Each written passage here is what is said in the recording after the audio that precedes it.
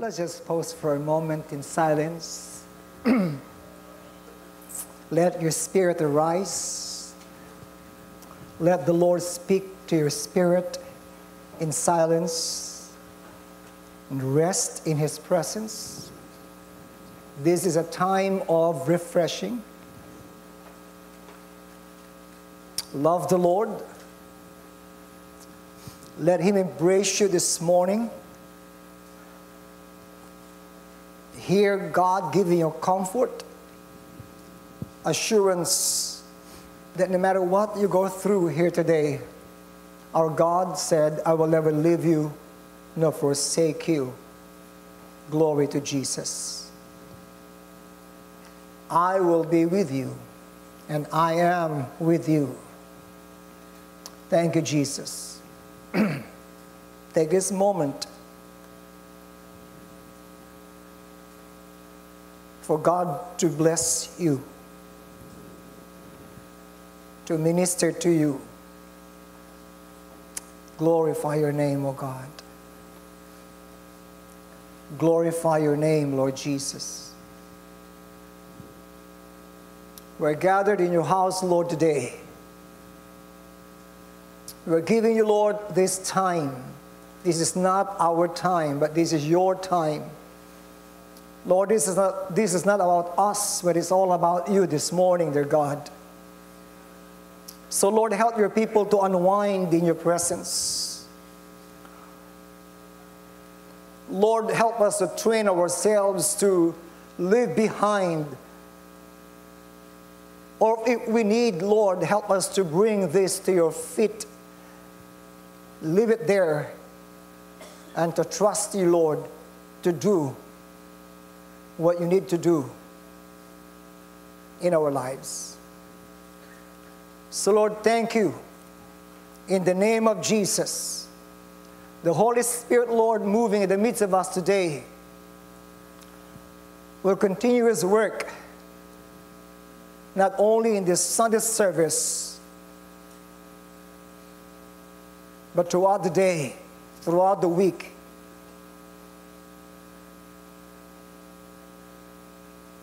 Thank you, Lord, for your wonderful presence and the presence of your people who is worshiping you now. In Jesus' name, Amen. Amen. Amen. Amen. You see, worship is one of our purposes, right? We exist to worship God right? We exist to worship God. Amen. And worship is not only confined in like a 30 minutes or 45 minutes sing like what we did today, but worship is a lifestyle. Worship is a commitment that we give to the Lord because our God is worthy to be worshiped. Amen. From the rising of the sun to the going down of the same, the Lord's name is to be praised. Amen. Praise God. Good to see you in the house of the Lord this morning. Amen. Look around and see new faces again and welcome again this morning. Welcome in the house of the Lord. I pray that the message here and the fellowship here and the brethren will really encourage you to serve the Lord, to love the Lord, and to come again. Amen. You know, the church is open, and if there be any need, let us know, and we'll be more than willing to help you and to assist you. But for now, welcome to Holy Ground Family Fellowship of America. God bless everyone. God bless. Amen. Thank you, Lord. Hallelujah. This morning, I'd like to speak on this topic serving with a willing heart. Serving the Lord with a willing heart. Amen. Now, I will start by saying God did not only call us to salvation, but God called us to serve Him as well. Amen. God did not only call us to salvation, but God also called us to serve Him. Our salvation leads us to our heavenly destination. Service is what God has called us to do while still on earth.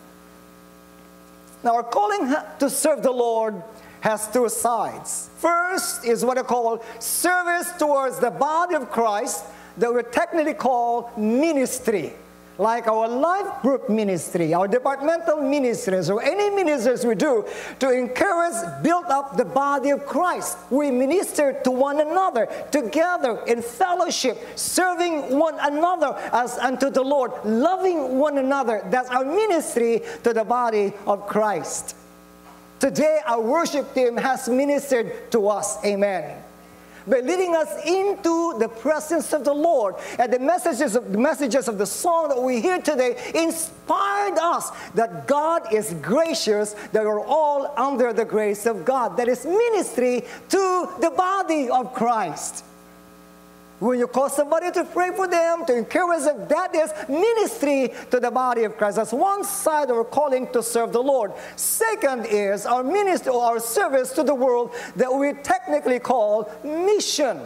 We have a mission. God has commissioned us to go and to preach the gospel. Amen. Yesterday, in our food distribution, I was so blessed to see God's people, those who volunteered, the servants of God who came and served, you know, and fulfilling their mission to the community. I guess almost like a hundred people came, right? Or families came yesterday. Amen you know, went to Selma for another ministry. But yesterday, you know, thank God, you know, for those who came and for those who served the people, both young people, adult-like and senior citizens alike, you know, you came, you know, fulfilling to serve the Lord, your mission to the community. Amen. Hallelujah. Praise God. In fact, some came back, you know, as a result of that, and we welcome you here this morning in the house of the Lord. Now, Ephesians chapter 4, verse 11 to 12 tells us, okay, Ephesians chapter 4, verse 11 to 12 says us, So Christ himself gave some to be apostles, some to be prophets, some to be evangelists, and some to be pastors and teachers. What for? To prepare God's people for works of service so that the body of Christ may be built up right? So I'd like to point out this morning that the main top priority of the leaders of the church, that the pastors and the teachers, are to prepare God's people for works of service. Did you hear me, church? Amen. You are equipped, you are being prepared to do services, to do the works of service based from this Ephesians chapter 4, 4, verse 11 to 12. So from now on until the Lord returns, until you're part of His congregation, I want you to conceive, I want you to understand that you will be trained to work for service. Oh, I'm not going back next Sunday anymore. Hallelujah. Amen. I mean, if you're a Christian, a born again Christian, a followers of Jesus Christ, there's no option for you. Amen. No more option for you. You are called for works of service. Can I hear amen? amen? Hallelujah. No option for you. God has a reason, God has a purpose why He called you to serve the body of Christ and to serve the world. That is your calling, that is our calling, and, to, and you're being equipped as His people for works of service so that the body of Christ may be built up. Hallelujah. God's people are called for works of service. There is a statement I'd like to make this morning. God's people are called for works of service. Can I hear amen? Amen. Now, what's the qualification or the age qualification from toddler up? Don't you know that our Sunday school are being used by the Lord to win souls? Amen? Amen? Our Sunday school kids are used by the Lord to bring their parents to church we brought people from, you know, during our VBS, they came to church because of that as well. Amen. You know, because their kids love it. So from toddlers down to the oldest one of here, you know, you are qualified to do service for God. Amen.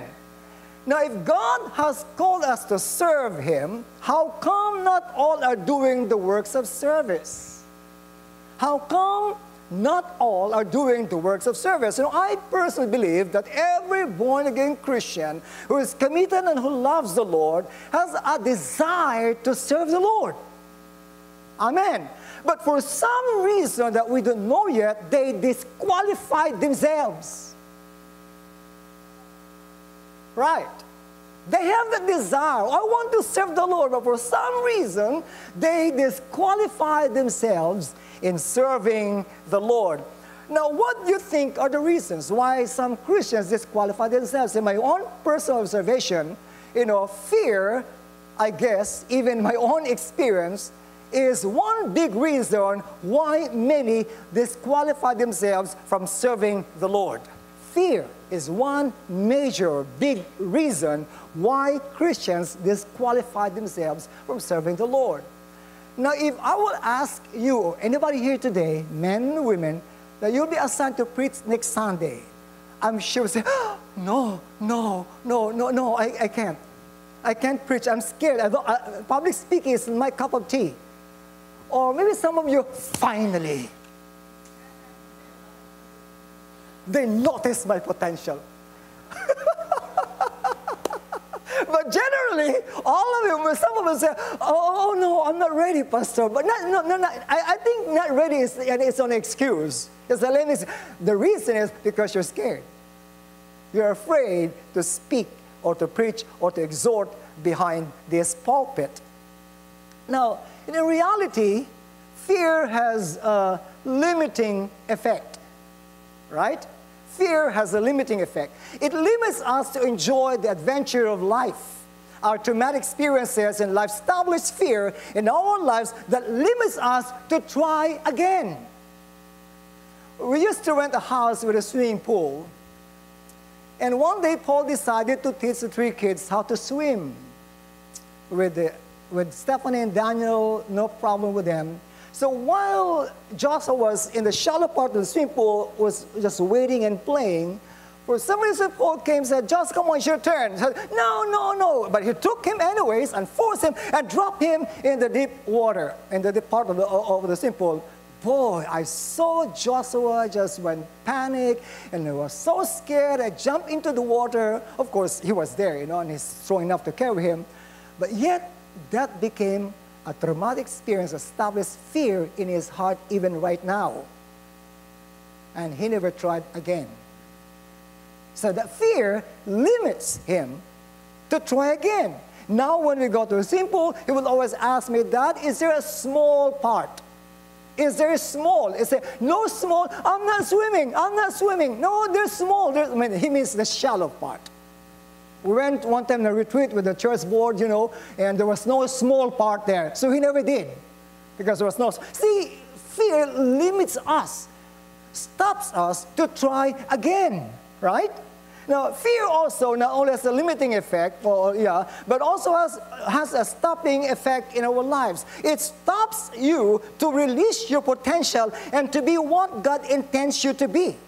People know, your loved one knows, and I know your pastor, that you can do it. But your fear is so loud, you can't hear them, and you hear your fear saying, You cannot do it. You can't do it. Hence, you lost the courage to explore. Remember that courage is not the absence of fear, right? But courage is really doing what you need to do in spite of your fear right? Courage is doing what you need to do in spite of your fear. Now, last Monday, Fred and Suzette said, Uncle, let's go to Sequoia National Park. Oh, that's a good idea. Okay, let's try. Let's go, you know. I have no idea the way to Sequoia National Park. Have you been there? And I have fear of heights. And I don't like driving at all. For some reason, we, we got lost. We were just making a loop, loop around, you know, in the plain area. And finally, we found a place, you know, we have to look to Squaw Valley and there. And right after Squaw Valley, are we going up? In my mind, are we going up? Are we going to that mountain right there? My fear started to grip me. I became so tensed, so quiet, especially when I was up there. I, I would not look I was so I was driving so slow. I looked in the mirror. I guess several cars were following us because I was driving so slow. I said, I don't care. I'll driving. And the rest of the game, hey, look, take picture, take, oh, beautiful, view, and beautiful view. What do you mean beautiful view? It's just oh, so tense. Really, I was so tense. But anyways, I took courage to drive because I must do it. In spite of my fear, I, I, I, I drove, I drove, I just said, sorry behind you guys, behind, sorry behind you. I, I, I don't like this driving here anyway. And I'm, I haven't reached my destination yet. I'm thinking also about driving back. to make the story short, I made it. But it took courage for me to do it as well. And Arlen said, You see it? You can do it. I just keep quiet. Hallelujah. So, you see, it limits us, right? It, it stops us to do something right. Amen. You know? Now, I know of someone back home who retired from work from almost 40 years in the same position he started on day one. He did not accept any promotion nor aim for promotion. Why? Because he was so scared of bigger responsibility in the company. You see, it stops us to do more. You know, he was qualified, I know, but he disqualified himself because of fear of bigger responsibility. Now, there are Bible characters we know, of course, that uh, because of fear tried to disqualify themselves as well. And what in mind right now is Moses, right? Moses was born to be the deliverer of, of Israel from the bondage in Egypt. All right? In fact, God saved him from birth when Pharaoh ordered midwives to kill newborn babies that are boys. Every male born in the Israelite families, kill it, uh, kill them right away. So to make the story short, you know, baby Moses was saved. He was brought to the Nile River, and Pharaoh's daughter found him in a basket and took him, you know, and nursed him and asked the mother, without her knowledge, you know, uh, the mother came and really nurtured and took care of Moses, and he grew up in the palace. And in his adult life, one day he went to check in the field or in, you know in Egypt there, and he saw a Hebrew slave, you know, being persecuted or being abused by an Egyptian soldier. So he killed the Egyptian soldier, Egyptian soldier to save the Hebrew one. But the next day it was discovered. And when, when Pharaoh heard about it, he tried to kill Moses. And Moses fled and lived in Midian and from then on, he became a shepherd. Then one day in a burning bush experience, you know, God called him and said, Moses, I want you to go to Pharaoh and deliver my people. The mention of the word Pharaoh, his memory went back to that event in Egypt that caused him to run away. And right away, Moses made excuses five excuses. One is in Exodus chapter 3, verse 11. Exodus chapter 3, verse 11 said, But Moses said to God, Who am I that I should go to Pharaoh and bring the Israelites out of Egypt? Who am I? Said, Who am I that I should go to Pharaoh and bring the Israelites out of Egypt? Now Moses, out of fear, belittles himself. This is not, to me, this is not humility, but rather false humility. Who am I? I'm just a nobody. I, I, I, mean, nobody noticed me in church. I'm just a Sunday worshiper. I mean, I, am not qualified to be part of that team or whatever you know, you're calling me to do, you know. So Moses belittled himself, but actually saying, I am not qualified. I am nobody. I can't lead the million of Israelites out of Egypt. Pharaoh is there. I'm not qualified. I don't have the ability to lead these people. A church fear can make you disqualify yourself for God's service. But God answered, I will be with you. Hallelujah. Amen. God said, I will be with you. You know what, church? It is not who you are that matters. It's all about God being with you, and His presence dispels all fears. Amen. It's not about you or who you are, it's all about His being with us, and His presence dispels all fears. In Exodus 3:13 also, you know, another excuse of Moses, Moses said to God, Suppose I go to the Israelites and say to them, The God of your fathers has sent me to you, and they ask me, What is his name? Then what shall I tell them? Moses used his lack of knowledge as an excuse to disqualify himself right? Or many times this could be a common excuse of many Christians when they feel the call of God. I'm not qualified because I lack knowledge. I don't know where to find it in the Bible. Then study the Bible. Right? I don't know how to answer questions. Then, on the job training, you will learn how to answer questions. There are many ways, you know, church. But Moses disqualified himself because he said, What if they ask me? And I don't know how to answer them. Then God answered, I am who I am. Hallelujah. Amen. Again, church it's not about how knowledgeable you are, that you are qualified. It's all about who sent you. Amen. It is about who sent you. And God said to Moses, Tell the Israelites, I am has sent me to you. Hallelujah. Bring the name of God in your service, and you'll have that authority. Amen. I am who has sent you. Glory to Jesus. But then Moses wasn't satisfied.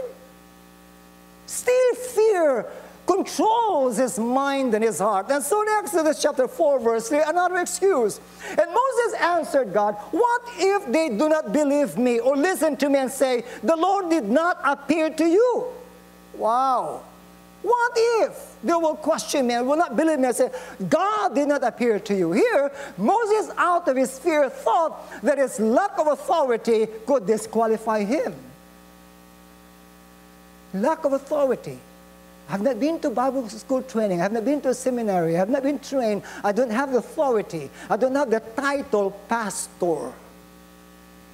And people don't really listen to you if you don't have the title reverend or pastor or something before your name in a religious way. But, church,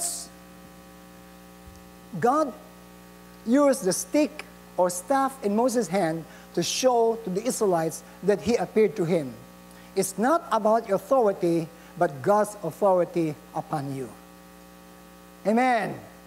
Take the badge of the policeman, his ordinary. Take his uniform and the badge He's ordinary like us. Civilian, they say. Once they put on the, the police uniform and the bus and all the paraphernalia, wow, a man of authority. And we're afraid, right? We're scared. Same thing with us. John 1.12 says, But as many as receive him, to them give authority to become children of God. Church, you have that authority right now. Amen.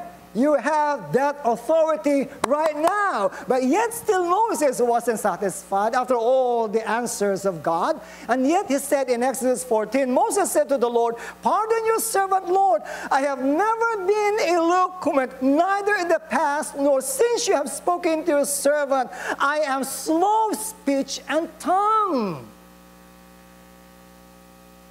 Now, Moses here again uses his lack of ability to disqualify himself. I'm not a good speaker. People will not listen to me. If you will study church history, not in the biblical times, but in our times, you will see that there were speakers and preachers who are not very eloquent, but yet God mightily used them. A blessed for those who speak well and preaches well, you know. Wow, thank God for those skills. God is good to them. Amen. Hallelujah. But it's not the only qualification to be used of God. Right? Right? So Moses' lack of, of, of ability disqualified himself. But God answered him, I will help you speak and teach you what to say. Wonderful. I will help you and speak. I will help you speak and teach you what to say. Again, it is not about your ability that qualifies you, but your ability followed by God giving you the ability. When you are available, God will supply the ability, church. Amen. Hallelujah. You can see that. You can experience that as well. So it's not your ability, but it's your ability, as they say, followed by God's giving you the ability. And finally, in Exodus chapter 4.13, here comes Moses' final excuse. But Moses said, Pardon your servant, Lord. Please send someone else. He was at the end of his rope. He can find any more excuse and so I said, Pardon your servant, Lord. Please send someone else. This is the bottom line. This is the corner, no more way to go. This is a revelation of what is in the heart of Moses. Moses was really out of fear and willing to go. Hello. Moses, really, from his confession, though he did not say, I'm not willing, Lord, but you can tell, you can say that this is a revelation of his what is in his heart. He was really unwilling to go because he was afraid. Now there are millions of alibis and excuses for a person who is unwilling. Or oh, there's a lion in the field. Right? Go get something. Oh, it's so dark. I'm alone. I'm scared. And this time, God's anger burned against Moses and told him that his brother Aaron will speak for him. Wow, still no excuse. I guess nobody can run away from the call of God. Right? In my opinion, all these excuses that Moses had was really because of fear that made him unwilling to serve the Lord. It was after God told him that all those who intend to kill him were dead that Moses stood up and went anyway. After he knew that those who want to kill him were dead, okay, I'll go. Hallelujah. Now, why God did not give up on Moses in spite of his unwillingness? Did you, did, did you know? If, if, if I was God, one excuse is enough. Okay, disqualified. But here, in spite of this series of excuses, God did not give up on Moses. Are you happy? That God is not giving up on us? Amen? That God is not giving up on you? Hallelujah! Amen. Why? Because God knew Moses. God knew that Moses had the passion and the potential. God knew that with his anointing, with his power, and with his help, Moses could make it. God had his hand upon Moses from the beginning. He had a plan for Moses to be the deliverer of Israel, and no one, not even Moses' fear, can change the plan of God. Amen, church. Hallelujah. No situation, no circumstances, no weakness, nothing, no need at all that you go through can ever thwart or change God's plan in your life. And I believe that with all my heart, church. God called you because He qualified you. Did you hear me? God called you because He qualified you. There's nothing in us that qualifies us naturally to serve the Lord. It's only by His grace, His amazing grace, that grace beyond our comprehension, that qualifies us, that God gave us the call to serve Him too. Give Him glory, church. Give Him glory, church. Hallelujah. Amen. Now, Joshua is the opposite of Moses. Joshua is the opposite of Moses. Now, Joshua is the, is the disciple of, or the second in hand, second in command of Moses. But he was opposite when it comes to responding to the call of God. When God told Joshua after the death of Moses to lead his people to the promised land, there was no record of his excuses. You read in Joshua chapter 1, verse 1 to 9, the call of God to, to Joshua. Right away in verse 10, Joshua stood up, commanded all the people to get ready. We're moving out. Woo! Amen.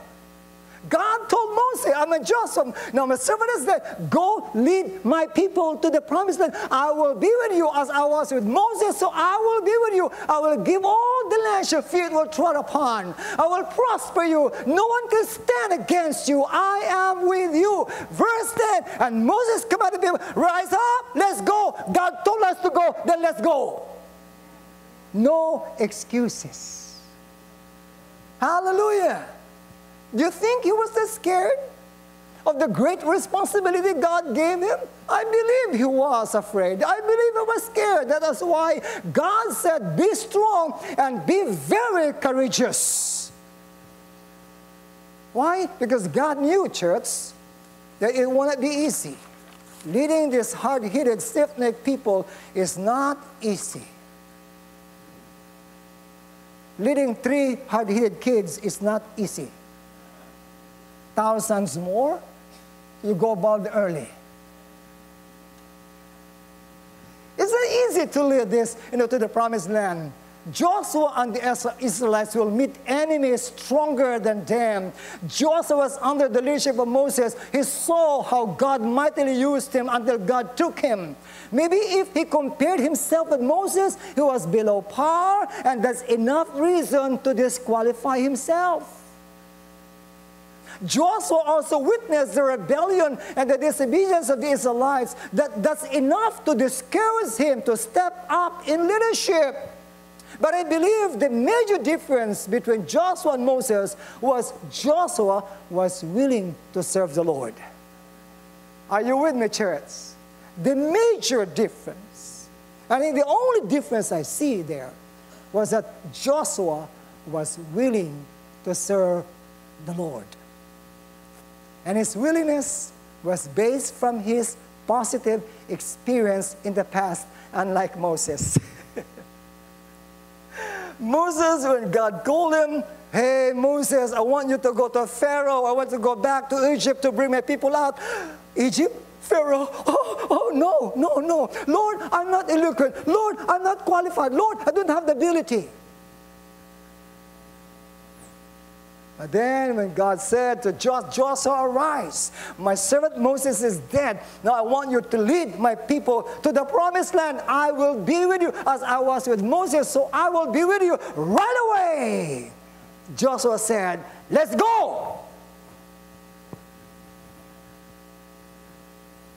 Amen.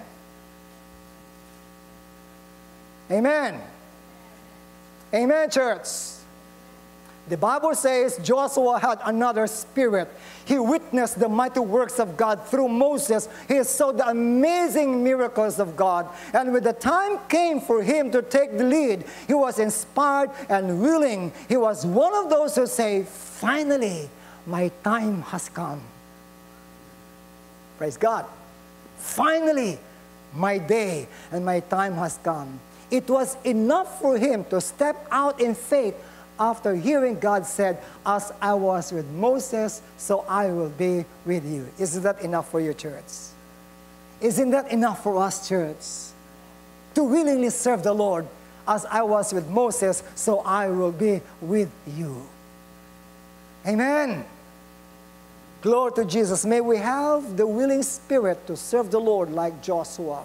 Remember what the Lord has done for your life, saving you, provided and still providing your needs, giving you food when you need it. Now, talking about willingness. In 1 Chronicles chapter 28, verse 9, when David turned over the kingship to his son Solomon, this is what he said. And you, Solomon, and you, my son Solomon, acknowledge the, the God of your father and serve him with wholehearted devotion and with a willing heart. Amen? Serve him with wholehearted devotion and with a willing mind. For the Lord searches every heart and understands every motive behind the thoughts. If you seek him, he will be found by you. But if you forsake him, he will reject you forever. So the point here is Solomon, you are now the king, serve God with a willing mind. Are you with me, church? Serve God with a willing mind. God has chosen you. Therefore, rise up. You will build the house of God for His glory and serve Him with a willing mind. Glory to God. Isaiah 119 tells us, Isaiah 119 also tells us, Isaiah 1, if you're willing and obedient, you will eat the best from the land. Church, that is the word of God. If you are willing and obedient, you will eat the best of the land. Not the leftover, not the crumbs, not of someone else left over, but you will eat the best of the land if you're willing and obedient to the call of God in your life. Woo, hallelujah. When can you receive the call of God? Maybe right now you have the call of young people, you have the call of God. Every one of us here this morning, a follower, believer of God, has a call from God. If you are willing and obedient, you will eat the best of the land. Praise God. First Peter chapter 5, verse 2.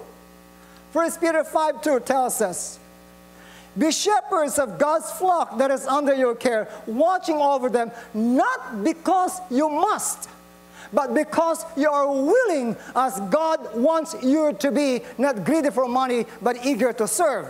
Now, this is about the servants of the Lord.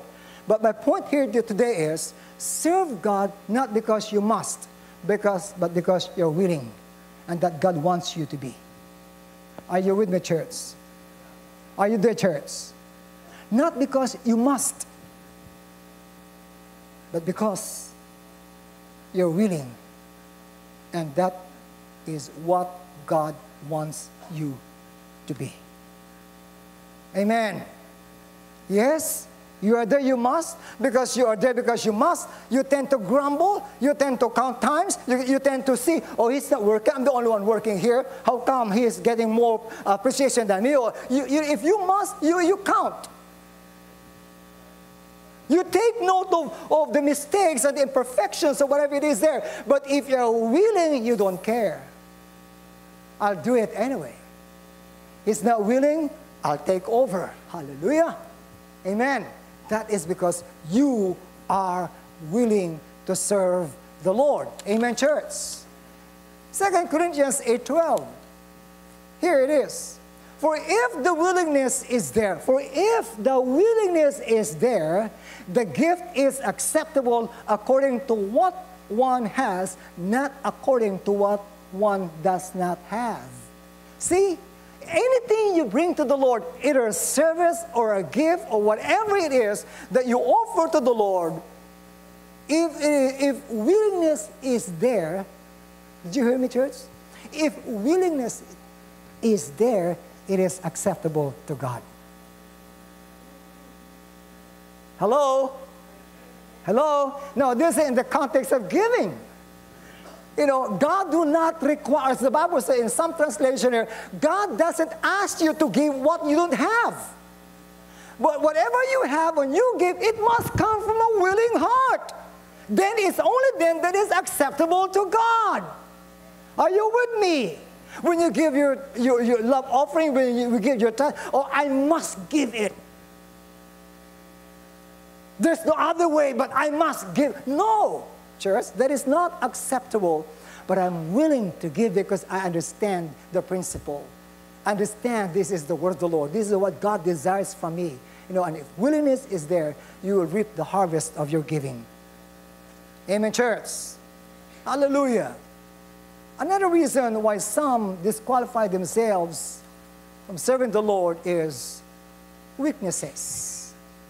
Weaknesses. Our human weakness that makes us feel unworthy. I believe is one of the reasons why many Christians disqualify themselves to serve the Lord. Right? Oh, this weakness. I'm not qualified. What if they discover this weakness? Oh my gosh, I'm not worthy. I, am not serving God. I'll wait until I feel worthy. No, you will never, you can never wait until you feel worthy because from the start we are unworthy. We're worthy because God made us worthy. Amen. Right. This is our human glitch, so to speak, makes us feel disqualified to serve the Lord. Right? This human glitch, we have this human defect, this malfunction in us, church.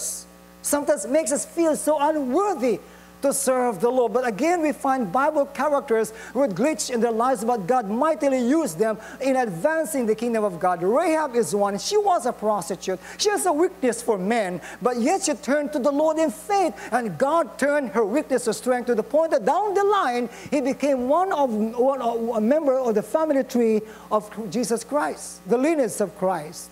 Jacob, which means deceiver, he loves to deceive. He loves to, uh, to, to uh, as a planter. But later on became Israel and became the nation of Israel. The 12 disciples had their own glitch in life, you know, or defects, yet Jesus chose them. And they became mighty after they turned to the Lord in prayer. Now just listen to this. If you keep on focusing on your weakness, then you will, you will miss to see your strength. Do you hear me? If you keep on focusing on your weakness, then you will never see your strength. Right? If you keep on finding what is missing, you will never find what you have. Hello? Did you hear me? Did you hear me? Amen. Oh, I can serve the Lord. I have this weakness. Well, yeah, that's true. Who else don't have? Who doesn't have a weakness among us here? Right. But if we focus always on our weakness, on the glitch in our lives, you know, then we will never see that we have the strength God gave us, that if only we turn this weakness to the Lord in prayer and the spirit of humility, He can turn this weakness into a strength and experience what Paul said, when I am weak, then I am strong, because His strength is made perfect in my weakness. Amen, church. His strength is made perfect in our weakness. Because of our fallen nature, we have glitch. But if we offer to God our glitch, then we will experience what Paul said when I am weak, then I am strong, for strength is made perfect in my weakness. In fact, church, I want you to know here there is benefit when we recognize our weakness because it can lead us to totally depend upon God. You know, public speaking is not my cup of tea. No. When God, I thought when I responded to the call of God to be a pastor, just to serve the church like as a Christian, like assistant to the priest, bring whatever or wipe the, the, the, the, the, the, the sweat or clean the altar or help, help clean the church. So I thought that's, but you know, but when I was, I went through seminary, there's hermeneutics we have to learn how to, how to preach, to study, and to make a sermon. Oh boy, I said it's going to be preaching. And every day, every, every week you have to preach. Every week you have to preach. Every day you have Bible study. You stand before people. I sweat.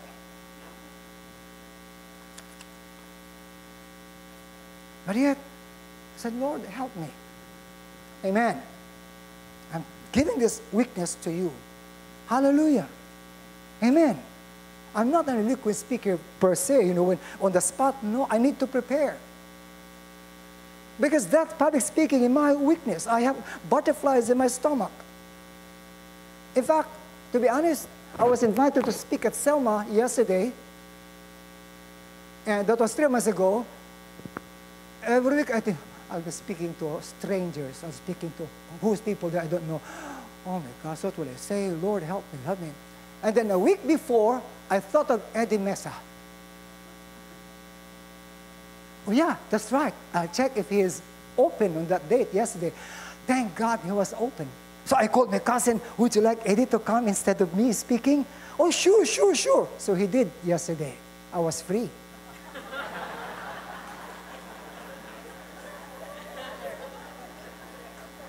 Boy, I was free. And then when they gave Eddie Mesa a blessing, oh, I missed it.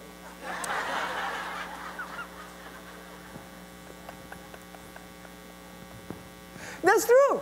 Those who are willing, obedient, they will eat the best of the land.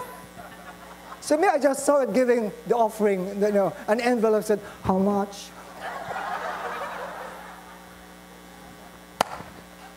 Hello? Because I, I don't know. I, I'm, I'm, happy to speak here because you're so familiar to me, but bring me to some other chairs. I tell you, Lord, help me, Lord, help me, Lord, anointing, Lord. Because this is not my, my, my let me clean the church. I'll do it from the rising of the sun to the going down of the same with a willing heart. You know what I mean? Or do anything outside, here inside the church, but not so much here. I'm here because I need to be here. Hallelujah. See, our weakness can be, can, can be, you know, God can turn a weakness, you know, as we submit and give it to Him. Amen? Actually, in reality, our weakness has its own purpose in serving God. It keeps us from becoming proud or conceited. To keep Paul from becoming proud or conceited because of the excessive revelations from God, God allowed a recurring problem to torment him to keep him from being conceited. In fact, yesterday at the fellowship in Selma, I was praying, Lord, don't, don't, don't, don't let them ask me to pray for the food, Lord. I'm honest to goodness. I'm not joking here. Really, I was trying to be in the corner that nobody was seeing because there are other pastors there, other who are able to pray there, you know. I was just hiding as if going away, you know. Said, Lord, don't, don't, don't make them ask me to pray. There, there's Pastor June, there's Pastor Mark, there's Pastor somebody. No, no, I mean. And here comes my cousin. Ed, you pray for the food. and I said, Lord, help me. I went to the bathroom, came back. Okay, let's pray. I was just, I, am not, I'm not really, to be honest with you. I, even to pray for food in the public, I, I could hardly speak. That's me, honestly speaking. But when God called us to serve Him, He knew all the way who we are, our weakness, our strength, but yet, in spite of His complete and perfect knowledge of who we are, still He is saying, I have qualified you. Amen. I have qualified you. I called you. I empowered you. I will equip you. And my grace is sufficient for you as I was with Moses, so I will be with you. I think that's enough. As I was with Moses, so I will be with you. Joshua was mightily used of God, church, but yet without weakness. There was a time, because of his imperfect faith, he sent spies to Jericho, even though God ensured him of victory. Right? God spoke to him, I will give you Jericho. But yet, because of his lack of faith, that is his weakness, he sent spies. Are they big enough? Are they strong enough? Can we make it? Can we conquer them? When God said, You can. Secondly, you know, he was overconfident after destroying Jericho, the next in line is Ai. And he sent, sent spy again. And the spy came back, oh, they're too small. Don't send more troops. You can just, just send 3,000 soldiers and we can handle them quickly. Chicken. It's easy. And so just, okay, okay. No sweat, send 3,000 only. And they came back defeated with 36 deaths. Overconfident. That's a weakness. And God you know, taught him a lesson. But God used Moses and Joshua despite their weaknesses. The primary lesson to draw from Joshua's life and that of Moses is that God is faithful to his promises. God promised Abraham that his descendants would dwell in the land. And under Joshua, God brought the people into the land that he had promised to give to them. This act completed the mission of redemption that God started with Moses in bringing Israel out of Egypt. It also a type which points to the ultimate redemption that Jesus brings to the community of faith. Like Moses, Jesus delivered us from the bondage and slavery of sin. And like Joshua, Jesus will bring us into the eternal promised land and everlasting Sabbath rest. Amen. Therefore, for now, all what God needs from you is a willing heart, a surrendered heart, a heart that follows hard after Him. Amen. A willing heart and serving the Lord. Amen. That and you can witness, you can pray for the sick, you can counsel, you can pray, you can serve the body of Christ, and you can do mission work because you are qualified. Tell somebody you are qualified. Come on, church. You are qualified. And now declared and say it I am qualified. Amen. I am qualified. Say it, church. I am qualified. Woo! Hallelujah. All of you are qualified to pray. All of you here are qualified to witness. All of you here are qualified to be a leader. All of you are qualified to stand the pulpit here to say a prayer or, or, or share the word of God. All of you are qualified to be volunteers. All of you are qualified to be servants of God. Amen. All of you are qualified to be worshipers. Hallelujah. God has qualified you. Amen.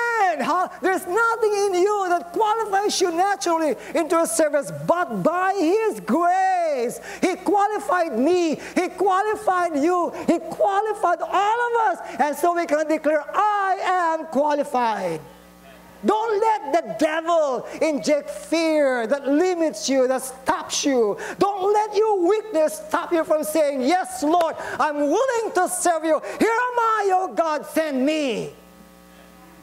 Here am I, oh Lord, send me. Hallelujah. When every single person seated here today have just like Joseph willing, their shirts will grow more and more and more for his glory and for his honor. Stand with us, please. Glory to God. Thank you, Jesus. Oh, blessed be the name of Jesus. Amen. Lord, give us a willing heart. Don't let fear come in, in between our call, oh Lord. In the name of Jesus.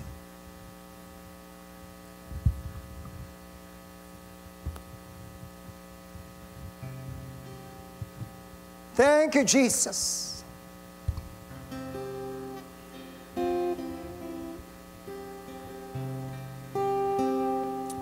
In the name of Jesus. Yes, we have all weaknesses.